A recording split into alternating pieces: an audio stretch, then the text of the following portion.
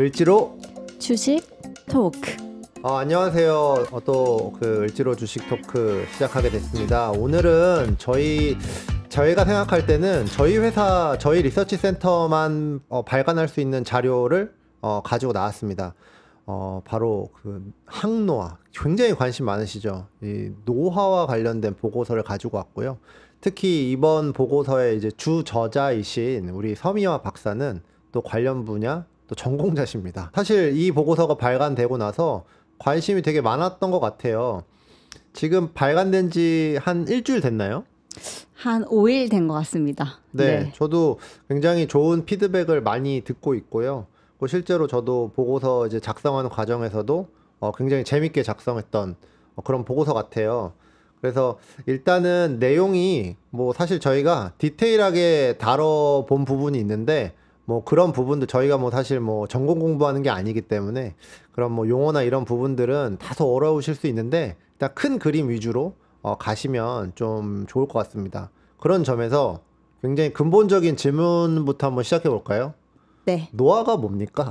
아, 노화. 네. 이게 우리 되게 많이 쓰는 단어이긴 하잖아요. 그렇죠. 네, 생명체가 시간이 지남에 따라서 활동성이 떨어지는 거. 이렇게 그렇죠. 하면 제일 간단할 것 같아요. 네. 그래서 신체적 기능, 뭐 활동성 이런 것들이 대체적으로 다 떨어지고요. 네. 그러니까 노화가 진행될수록 좀 다양한 질병들이 많이 생기는 것 같아요. 네. 치매도 그렇고 암도 그렇고 퇴행성 관절염 이런 것들 우리가 많이 몸을 쓰는 거니까 결국엔 네. 시간이 지남에 따라서 많이 생기고 그래서 요즘에는 노화가 다양한 질환의 선행 질환이다 이런 이론들도 많이 등장을 하고 있습니다. 이게 어떻게 보면 어 되게 뭐 당연한 얘기일 수도 있을 것 같아요.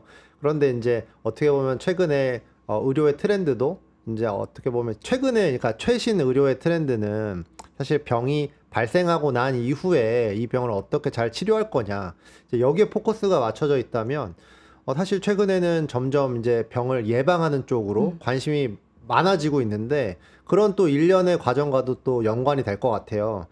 그렇다고 하면 어, 노화가 어, 과연 치료가 가능한가? 우리가 또 이런 생각을 해볼 수가 있을 것 같은데 어, 노화라는 거를 음, 막는다? 이런 표현은 우리가 많이 썼지만 혹시 그럼 노화를 우리가 질병으로 본다고 하면 이거를 치료할 수 있는 개념일까요? 지금 당장은 사실 안 돼요. 네. 근데 결국엔 치료를 하지 않을까라는 생각이 들고 치매가 그랬잖아요. 네, 알츠하이머 같은 경우에는 그래도 치료제가 최근에 나왔으니까 안 된다고 했는데 결국에 치료제가 나온 거고 노화도 결국엔 연구가 지금 한창 많이 이뤄지고 있기 때문에 네, 치료가 되지 않을까라고 생각을 하고 있습니다. 그래서 산업계 쪽으로 넘어온 지 얼마 안 됐어요. 그래서 우리는 사실 당장 죽을 그 질병을 치료하는 데 되게 많은 돈을 쓰고 노력을 썼던 거고요. 네, 근데 노화는 그냥 당연히 있었던 현상들이니까 그쵸. 그걸 치료한다는 생각을 많이 안 했던 거죠. 근데 지금은 산업계로 넘어오면서 노화를 좀 치료를 해보자.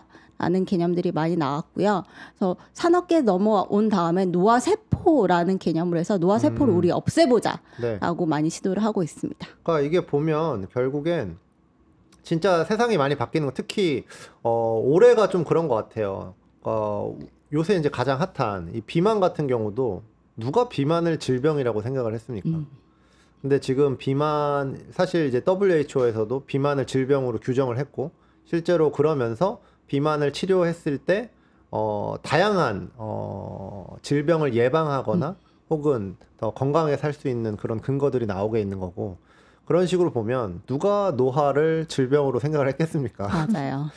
그래서 이런 부분도 좀 저희가 어, 계속해서 그러니까 당장은 당연히 어렵겠지만 좀 어, 집중해서 봐야 될 포인트가 아닐까 좀 생각이 듭니다. 그러면은 노화를 이제 예방하고 치료하는 것을 넘어서 혹시 생체 나이를 되돌리고 음. 어려지는 것도 가능할까요? 맞아요. 사실 옛날에 진시황이 하고 싶었던 거는 어 그냥 오래 살고 싶었던 거잖아요. 단순하게. 네. 근데 그냥 우리가 어 수명만 늘리는 거는 의미가 없다고 생각해요. 그냥 활동성이 떨어진 상태에서 수명만 늘어나는 것보다는 활동성이 되게 올라가 있는 상태를 더 오래 지속하고 싶은 게 사실 궁극적인 목표거든요.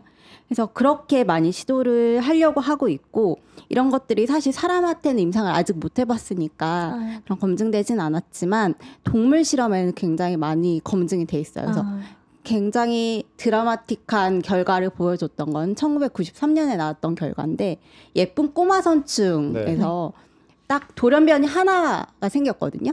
근데 그게 수명이 딱 두 배가 늘어났고요. 네. 얘는 건강 수명, 그러니까 활동성이 높아져 있는 상태로 조금 오래 더 지속됐기 때문에 이런 가능성이 있고 이 유전자가 사실 잘 보존이 돼 있어요. 다양한 동물 그리고 사람들한테.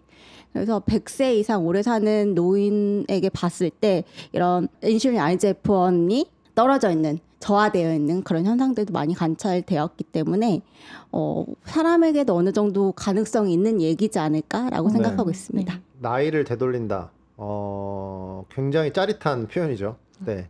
근데 이제 저희가 서두에도 밝혔지만 이제 막 산업계로 태동 이제 넘어오고 있는 단계이기 때문에 어, 뭔가 어, 드라마틱하게 저희가 이렇게 딱 이거다 이렇게 얘기할 수 있는 부분보다도 이러이러한 가능성들이 이제 가설들을 바탕으로 해서 연구가 진행되고 있다. 사실 그렇게 좀 봐주시면 좋을 것 같고요.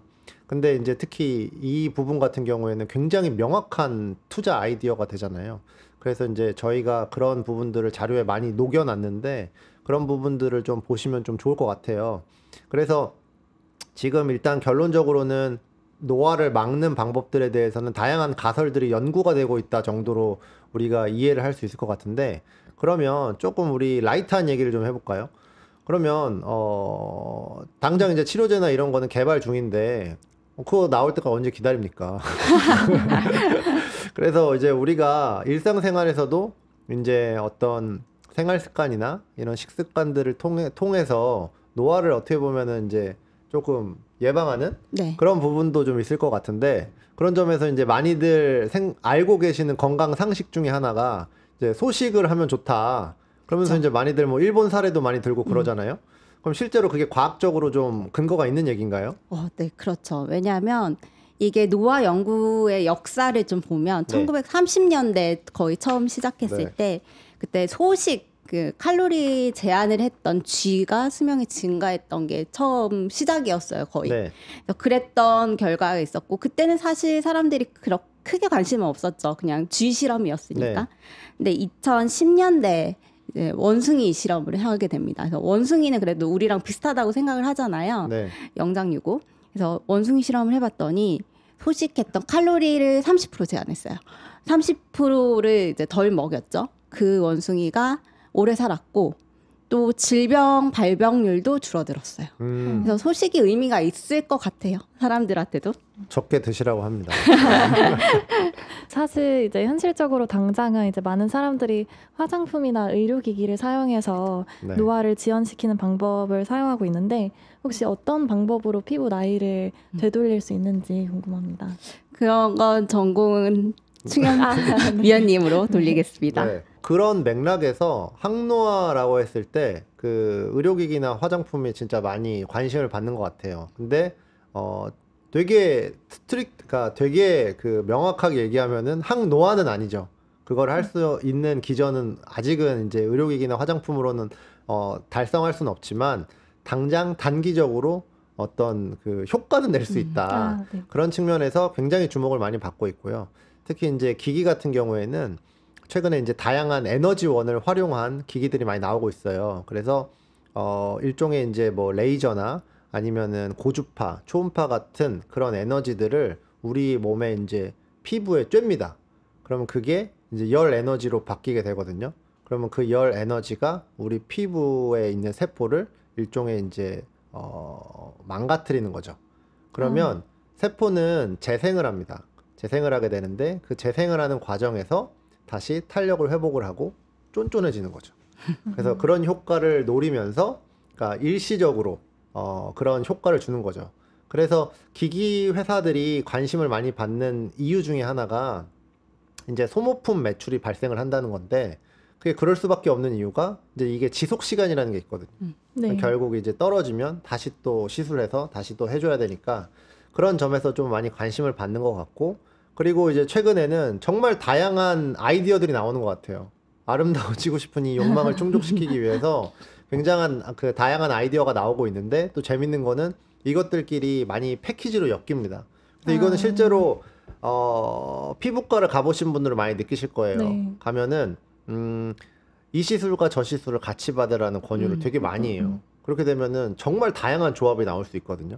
그래서 실제로 이제 그렇게 산업이 만들어지고 있는 것 같고요.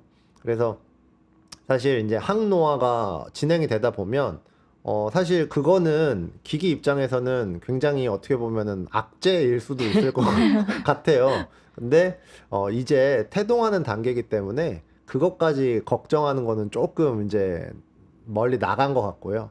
그래서 어 당장 이제 항노화 제품이 개발되기 전까지는 이런 뭐 기기나 화장품들이 그래도 일정 부분 역할을 해주지 않을까 좀 그렇게 보고 있습니다. 그렇다고 하면 이제 좀 어, 마무리 좀 해보면 될 것 같아요. 결국은 뭐 아무리 뭐 연구개발 단계고 그렇다고 하더라도 어, 일단 저희가 대략적으로 투자 포인트를 좀 정리하면 좋을 것 같은데 어, 이른바 이제 안티에이징, 이제 항노화라는 산업을 우리가 봤을 때 좀 이런 부분을 좀 어떤 식으로 정리하면 좋을까요? 일단 노화는 사실 인간의 욕망이기 때문에 그렇죠? 이걸 노화 치료제, 뭐 노화 지연제 이런 개발이 지속적으로 이루어질 거라고 생각을 해요.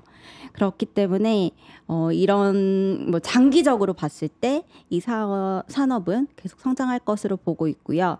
지금 너무 초기 단계니까 현실적인 투자를 하겠다라고 생각하면 기기나 화장품 쪽으로 가야 될 것 같습니다. 그래서 이 산업이 그러니까 당장 어, 죽을 수는 없는 게 인간의 욕망이 이렇게 지속적으로 어, 네. 남아 있기 때문에 계속 지속될 거고요. 항노화 같은 경우는 투자를 한다면 장기적으로 봐- 보셔야 될 것 같고 투자를 한다면 뭐 노화 세포를 죽일 수 있다. 뭐 이런 컨셉을 가지고 있는 좀 생물학적 가능성이 있어 보이는 그런 기업에 투자를 하는 것이 바람직하지 않을까라고 생각하고 있습니다. 사실 저희가 이런 이제 활동들을 많이 하면서 저희가 이제 몇 년 전부터 되게 많이 얘기를 드렸던 어, 내용들이 이제 뭐 예를 들면 유전자 치료제 같은 내용이거든요. 그러니까 유전자 치료제나 아니면 이제 AI를 활용한 신약들. 근데 저희가 한 어, 벌써 제 기억에도 저희가 시- 소개해드렸던 것들이 한 4, 5년 된 것 같은데, 근데 이제 슬슬 결과들이 나오고 있거든요. 그래서 그런 것처럼 어, 이쪽과 시장의 방향성이 맞다고 하면 어, 일단 계속해서 이제 관심을 가져보시는 것도 결국에 의미 있지 않을까 생각이 됩니다.